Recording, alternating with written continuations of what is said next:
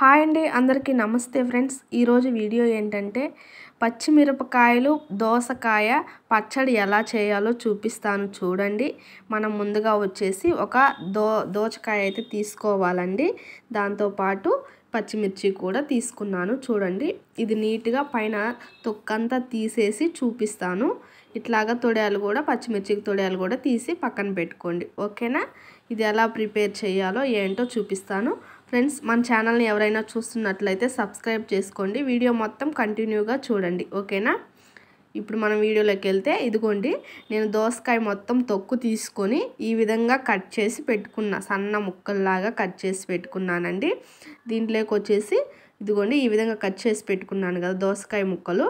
ఇక్కడ పచ్చిమిర్చి చింతపండు ఉప్పు అనేది కూడా నేను తీసుకున్నానండి. చింతపండు కూడా తీసుకోవాలి. ఓకేనా? ఇదిగోండి ఇక్కడ చూపిస్తున్న విధంగా ఉప్పు చింతపండు. చింతపండు అయితే ఈ సైజు కొంచెం ఒక నిమ్మకాయ సైజు ఉంటుంది కదా అంత చింతపండు అయితే తీసుకోండి. ఎందుకంటే మనకు దోసకాయ కొంచెం పుల్ల పుల్లగా ఉన్నట్టు ఉంటుంది కదా సరిపోతుంది. పచ్చిమిర్చి అన్నమాట. మీరు కొంచెం కారం తక్కువ తినే పని అయితే కొంచెం కారం మన టేస్ట్కి తగ్గట్టు కొన్ని పచ్చిమిరపకాయలు తగ్గించుకోవచ్చు. ఏం ప్రాబ్లం ఉండదు. ఫ్రెండ్స్ ఇప్పుడైతే నేను రోల్ తీసుకున్నాను. రోట్లో వచ్చేసి మనం ఫస్ట్గా పచ్చిమిర్చి అనేది క్లీన్ చేసి పెట్టుకున్నాం కదా కడిగి నీట్గా తొడయాలు తీసుకొని పెట్టుకున్న పచ్చిమిర్చి రోట్లో వేసి కొంచెం కల్లుప్పు వేద్దామండి. కల్లుప్పు వేయడం వల్ల ఏంటంటే పచ్చిమిర్చి తొందరగా మెదుగుతాయి అన్నమాట ఇక్కడ నాకు చిన్న రోలే ఉంది కాబట్టి నేను కొంచెం కొంచెం వేసి దంచుతున్నాను ఫ్రెండ్స్. మీ దగ్గర పెద్దది ఉంటే అన్నీ ఒకసారే వేసుకొని దంచుకోవచ్చు అనమాట ఓకేనా?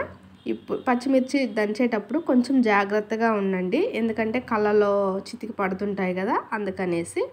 నాకు అలవాటు కాబట్టి నేను ఇలా దంచేస్తున్నాను ఓకేనా ఫ్రెండ్స్ సో ఈ విధంగా మొత్తం అనేది మనం ఇదే విధంగా దంచేసుకోవాలి పచ్చిమిర్చి మొత్తం అనేది ఈ విధంగా దంచుకోవాలన్నమాట. ఈ కొంచెం సాల్ట్ కల్లుప్పు వేసుకుంటా ఈ విధంగా దంచుకోవాలి. ఇక్కడైతే నేను మొత్తం దంచేసాను చూపిస్తున్నాను చూడండి. మన పచ్చిమిర్చి కూడా మెత్తగా పేస్ట్ చేయాల్సిన అవసరం అయితే లేదండి. ఇదిగో ఇక్కడ చూపిస్తున్నాను కదా. ఈ విధంగానే దంచుకోవాలి. ఓకేనా ఈ విధంగా దంచుకుంటేనే మన పచ్చడి అనేది టేస్ట్గా ఉంటుంది. చాలా చాలా రుచిగా ఉంటుంది తింటుంటే కూడా. ఓకేనా ఫ్రెండ్స్? ఇప్పుడు ఇదిగోండి ఈ విధంగా అయితే మనం దంచుకోవాలి. ఇలా దంచుకున్నాం కదా? ఇలా దంచుకున్న తర్వాత ఇప్పుడు మనం వచ్చేసి మనం తీసుకున్న చింతపండు కూడా ఈ పచ్చిమిర్చిలోనే వేసేసి దంచుదామండి.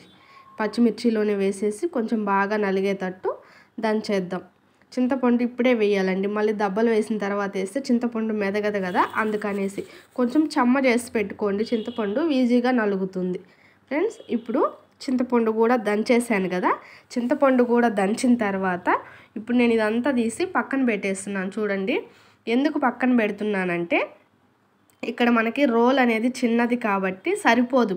అందుకని నేను పక్కన పెట్టేసి ఇప్పుడు మళ్ళీ దోసకాయ ముక్కలు కట్ చేసుకున్నాం కదా అవి వేసి దంచుతున్నాను ఫ్రెండ్స్. ఇక్కడ ఇదేంటంటే దంచేటప్పుడు మనము దోసకాయ దెబ్బ ఊరక చితికితే చాలండి. నలగాల్సిన అవసరం కూడా లేదు. మెత్తగా నలగాల్సిన అవసరం అంతకంటే లేదు.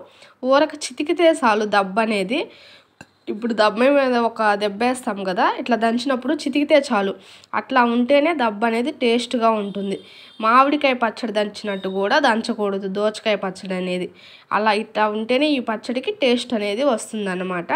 సో ఇక్కడ నేను చూపిస్తున్నాను కదా ఈ విధంగా అయితే దంచాలి. ఇదిగోండి ఈ వీడియోలో చూపించిన విధంగానే దంచండి. ఖచ్చితంగా ట్రై అయితే చేయండి ఒక్కసారైనా. చాలా చాలా బాగుంటుంది. ఇట్లాగైతే మనం తినేటప్పుడు ఒక్కొక్క దెబ్బ తగులుతుంటే చాలా టేస్ట్గా ఉంటుందన్నమాట. ఇదిగోండి నేను మొత్తం అయితే ఈ విధంగానే వేసి దంచుతున్నాను ఫ్రెండ్స్. ఇదే విధంగా మొత్తం దెబ్బలన్నీ మనం దంచుకోవాలి. ఓకేనా? సో ఫ్రెండ్స్ ఇదిగో ఈ విధంగా అయితే మొత్తం దంచి చూపించేస్తాను. చూడండి.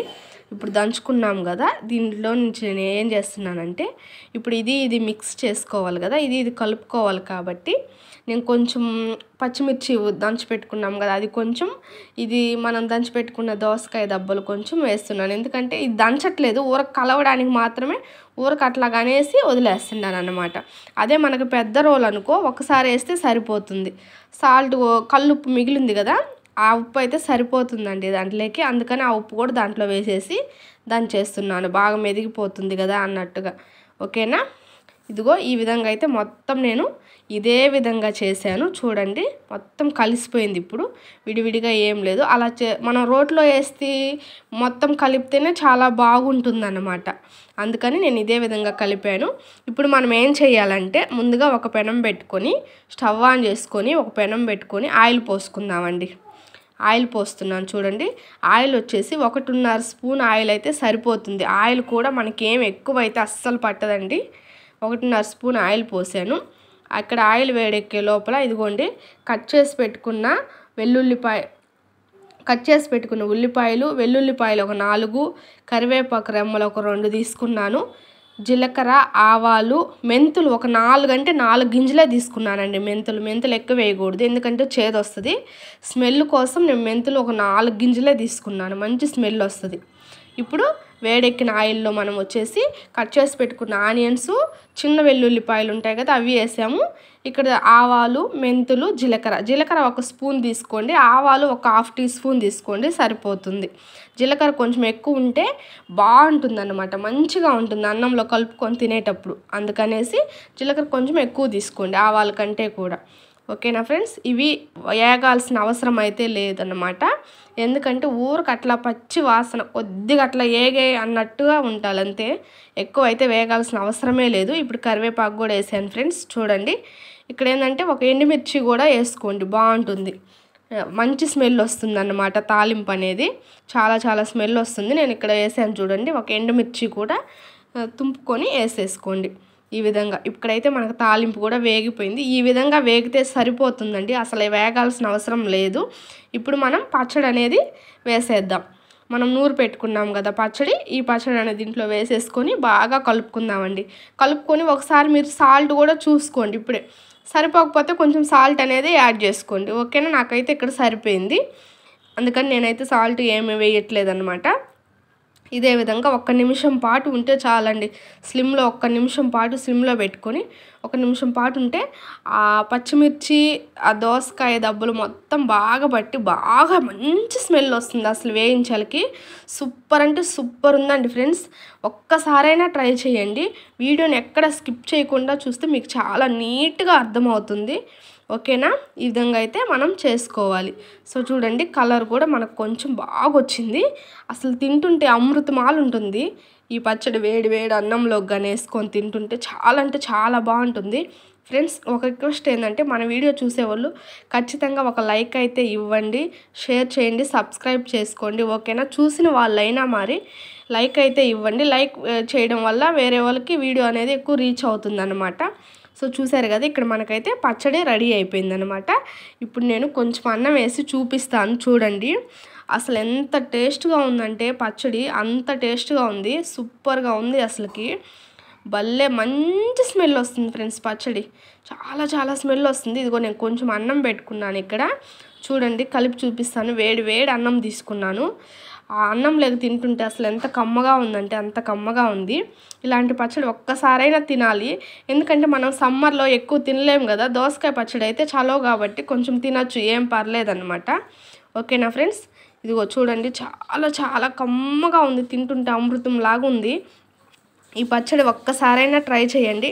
ట్రై చేసి ఎలా వచ్చిందో కామెంట్ సెక్షన్లో కామెంట్ అయితే చేయండి. ఫ్రెండ్స్ అదేవిధంగా కింద రెడ్ కలర్లో సబ్స్క్రైబ్ బటన్ ఉంటుంది. సబ్స్క్రైబ్ చేసుకోండి. ఓకేనా ఫ్రెండ్స్? ఈ వీడియో నచ్చినట్లయితే ఖచ్చితంగా లైక్ అయితే ఇవ్వండి. చూసిన వాళ్ళు ప్రతి ఒక్కరూ ఈ నా వీడియో చూస్తున్నందుకు థ్యాంక్స్ ఫ్రెండ్స్.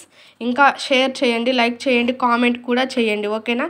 ఈ వీడియోలో ఏమైనా తప్పులు ఉంటే క్షమించండి ఫ్రెండ్స్. ఈ వీడియోనైతే ఇంతటితో ఎండ్ చేసేస్తున్నాను. ఓకేనా? Bye friends.